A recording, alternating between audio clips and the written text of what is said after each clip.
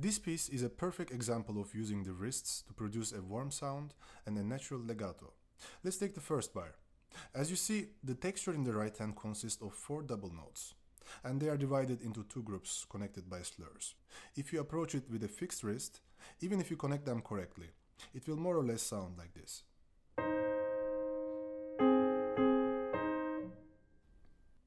In my opinion, there are two significant problems with this sort of attack or playing.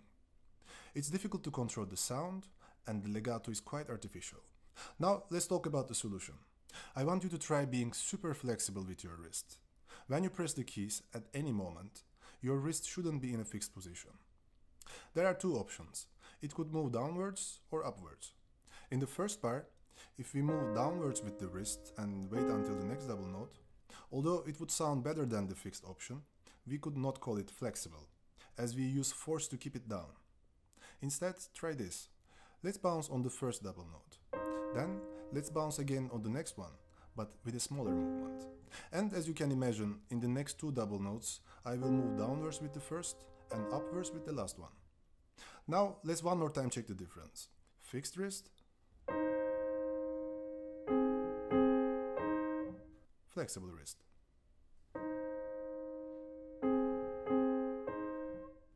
As you've heard, we have a more natural connection between these double notes with flexible wrist. At this point, the voicing technique comes to the table. Let's take the first two bars. Imagine the upper layer played by a violin, the main melody.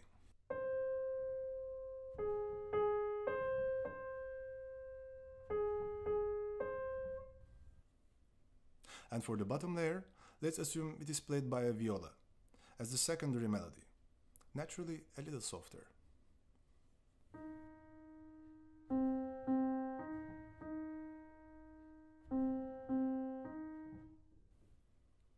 And now, let's play them together.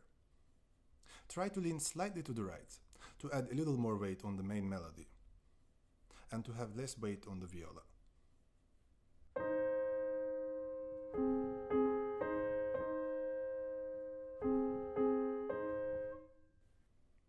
Well, for last time, I want to draw your attention to the difference between the first example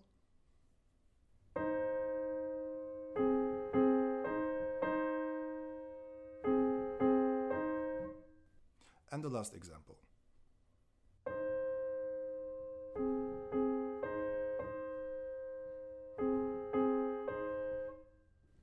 I recommend considering this approach from the very beginning when you start to learn the piece. Let's take a look at the next four chords. We still have the violin, but now there are two violas. Let's highlight the melody and the rest very soft. Also here, try to lean just a little bit to the right, and make sure to bounce on each chord for a nicer tone.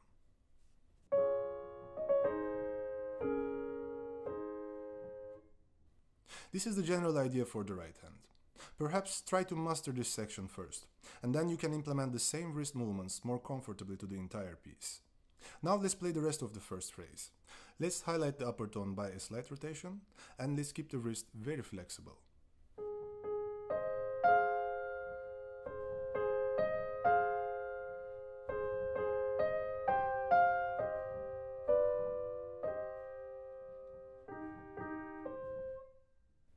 Alright, let's move on to the left hand. Beside accompanying, the left hand has one more important role here. It gives the waltz character to the piece. Therefore, we need to make the bass tone sound a little more significant, and the chords softer.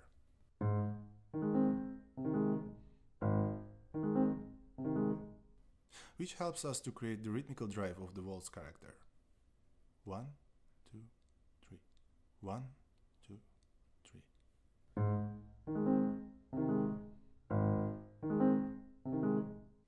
We must be aware that the bass is a single note. If we approach the bass and the chords with the same kind of attack, there will be a balance problem, as there are three tones versus one. We must try to articulate all the chords very gently. Try to imagine all these three tones as one, as homogeneous as possible.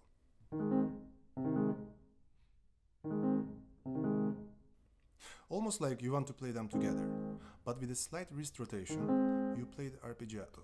I search for a character that reminds the harp. Perhaps a double bass and a harp.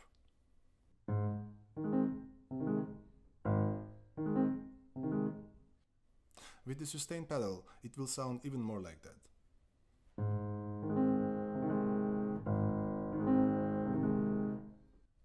About the pedal, there is nothing too specific. I will change it mainly with the bass tones and also with harmonic changes. You can find the exact markings about pedaling in the sheet music I will include. Let's play the whole first phrase, only with the left hand.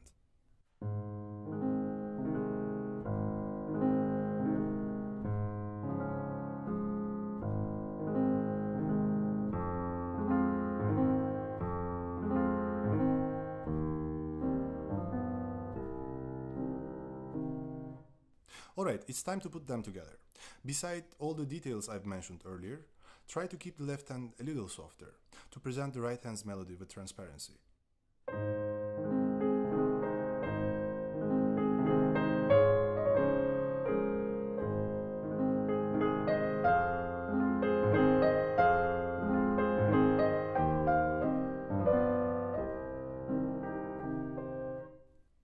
Let's move on to the second phrase.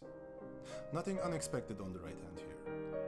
The same principles for the wrist movements and the voicing remain. Let's first play the upper melody. Remember to use the actual fingerings.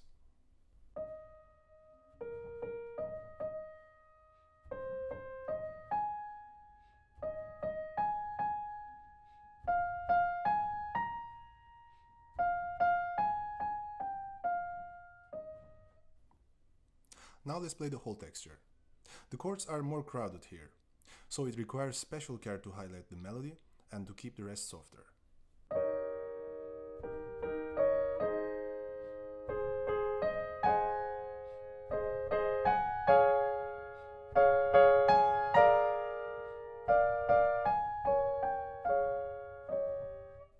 About the left hand, there are no arpeggios anymore. Try to expose upper tones here as well. They will certainly sound more special. The bass is still more significant.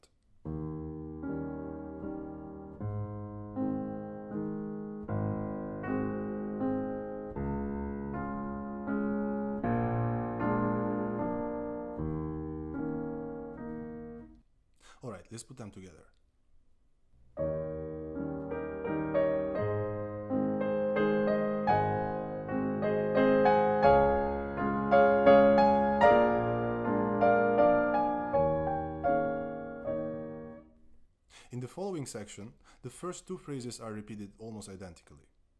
Therefore, I will move on to the last section, which seems to be the technically most challenging part for many. I might have some solution to make it more comfortable. On the right hand, we have parallel double notes, which are required to be played legato and melodic.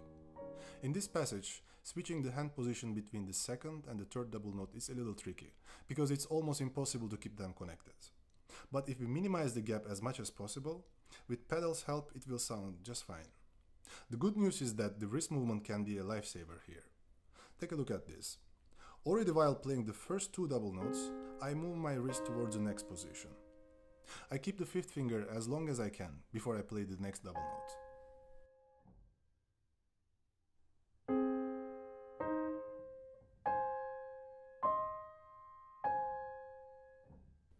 If you switch the position with a parallel move, there will most likely be a much bigger gap.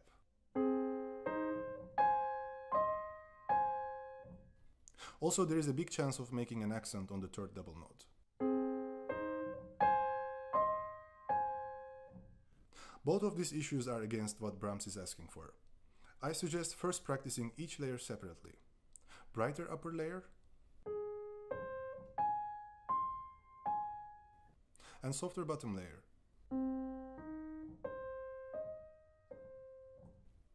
Let's put them together.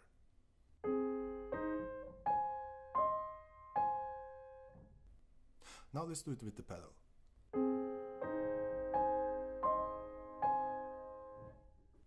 In the last bars, we have a similar situation.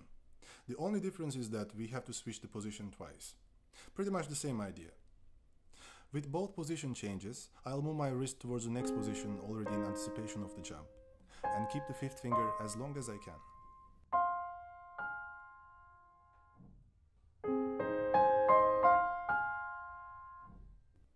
Also here, practice the upper layer first.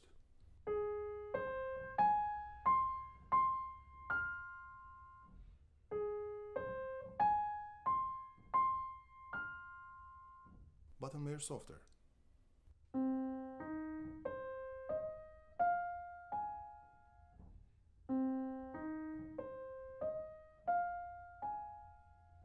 and then put them together.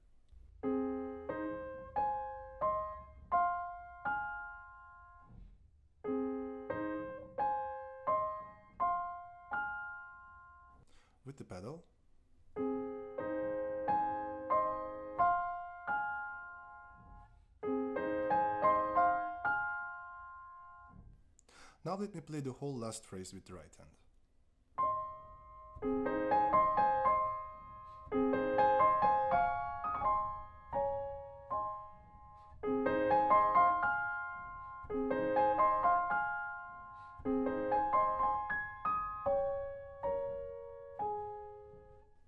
With the left hand, as I showed earlier, try to highlight the bass and the upper tone on the chords, and play the arpeggios like a harp.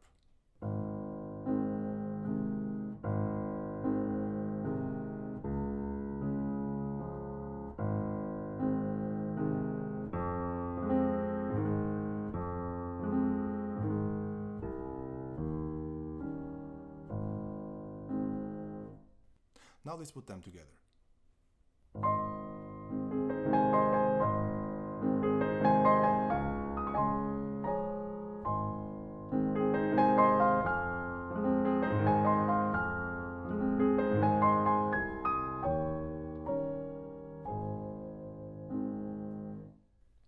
Alright, we have come through the whole piece.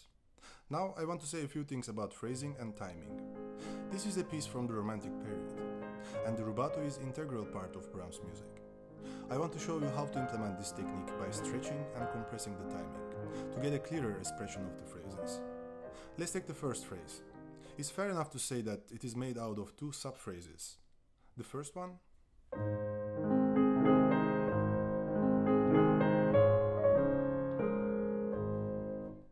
and the second one.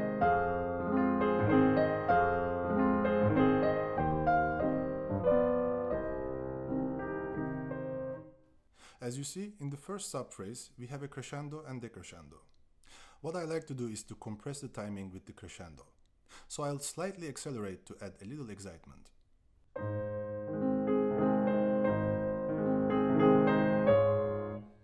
And right after that, I will stretch the timing by decelerating, which will calm it down.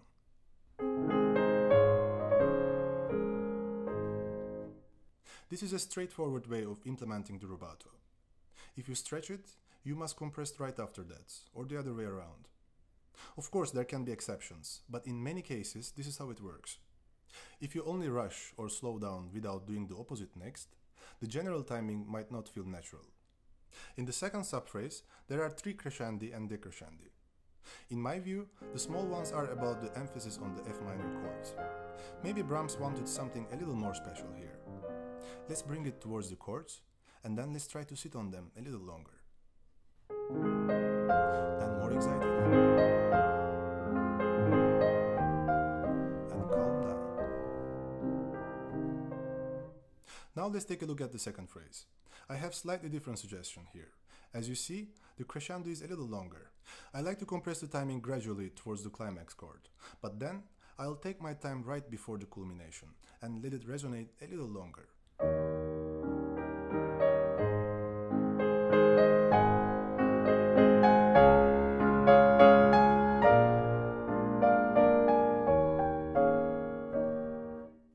Which makes the climax harder to reach and precious.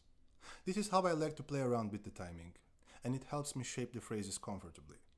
Now I will play the whole piece for you and try to put all these details together. Let's go.